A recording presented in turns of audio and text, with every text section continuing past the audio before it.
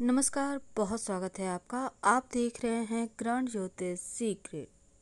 वृश्चिक राशि तेईस जुलाई से इकतीस जुलाई तक का वक्त आपके लिए कैसा रहेगा, चलिए जानते हैं विस्तार से। देखिए, आपका स्वास्थ्य पहले की तुलना में बेहतर रहेगा, मन भी अच्छा रहेगा, बहुत सारी रुकावटें लाइफ की दूर होंगी, वैवाहिक जीवन में विवाद ना हो, इसका ख्याल रखें।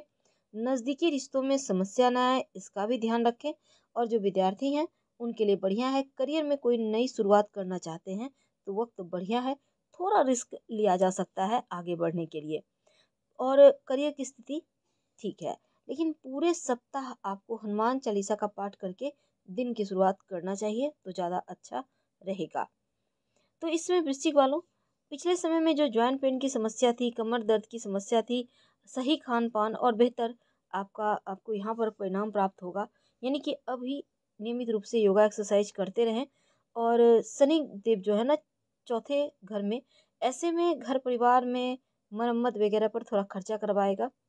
और दूसरा, दोस्त कोई बढ़िया योजना बनाकर आपका मन को बढ़िया कर देंगे। गुरु आपके सातवें भाव में बैठेंगे तो पेशेवर दृष्टि से आपके लिए अच्छा रहेगा, सही मार्ग पर जाएगा।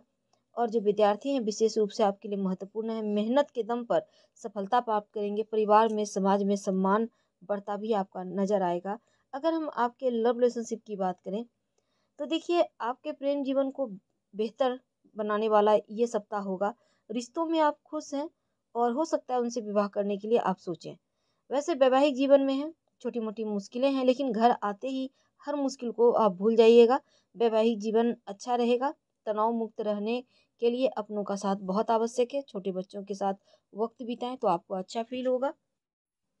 तो ये सप्ताह पुराने दोस्तों से मिलना जुलना होगा। सुख साधन पर थोड़ा खर्च होगा। ध्यान भी दीजिए सुख साधन पर और सुख साधन के लिए आप शॉपिंग भी करेंगे। हालाँकि ज़रूरत से ज़्यादा शॉपिंग में खर्च मत कीजिएगा और इस समय देखिए, आपकी अगर स्वास्थ्य में कोई भी समस्या थी, जॉइंट पेन की समस्या थी, उससे भी मुक्ति मिलेगी और थोड़ा सा बस खान पान का ध्यान रखिएगा। पेट का थोड़ा ख्याल रखिएगा तो उत्तम रहेगा। इस समय जैसे अगर कोई यात्रा के ज़रिए आपका काम है तो उसमें आपको लाभ होगा। काम का बड़ा प्रेशर नहीं है, लेकिन बिगड़े कार्य बनेंगे, जिससे आपका स्वास्थ्य और खिलेगा। रिपेयर होंगे आप अच्छा फील करेंगे। अगर आप अविवाहित हैं, या फिर आप विवाह के लिए लड़की वगैरह देख रहे हैं, लड़का देख रहे हैं, आपका विवाह तय हो सकता है। हालाँकि तीर्थ स्थान पर जाने के भी योग बनेंगे, इस सप्ताह आपके लिए। अगर आप जाना चाहते हैं, बेझिझक होकर जा सकते हैं, समय अनुकूल है। लव लाइफ भी ठीक है। हम आपसे विदा लेते हैं। जानकारी अच्छी लगे, तब लाइक कर सब्सक्राइब करें शेयर करें कमेंट करें। धन्यवाद। हम फिर मिलेंगे।